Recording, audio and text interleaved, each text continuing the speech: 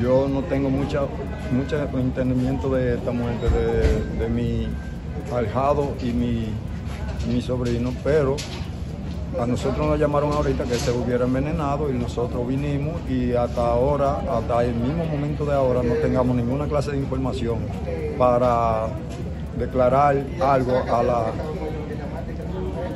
declarar algo en contra de nada ni, ni a favor de nada.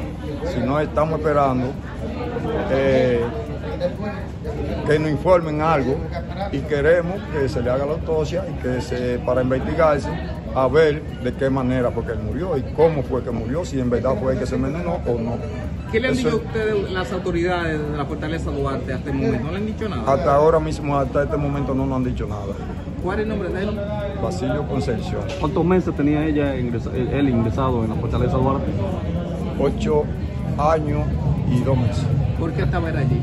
Él tuvo, una, eh, tuvo un error por ahí, cometió un error y ah, según yo tengo entendimiento, estaba debajo de, de investigación, Eh, ¿qué- ¿Cuánto, ¿Cuánto le han cantado a él? ¿15 años, 20 años? 20 años. Tenían que estar 20 años. ¿El caso de él fue, por qué fue el caso de él?